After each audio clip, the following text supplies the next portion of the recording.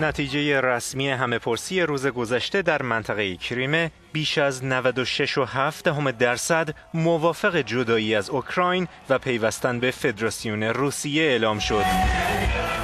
میخائیل مالیشف رئیس شورای انتخابات کریمه شمار شرکت کنندگان را در این همه پرسی یک میلیون و دویست و هفتاد و چهار هزار و نود و شش تن عنوان کرد. بر این اساس 83 و یک دهم درصد از واجدان شرایط رایدهی به پای صندوق های رای رفتند.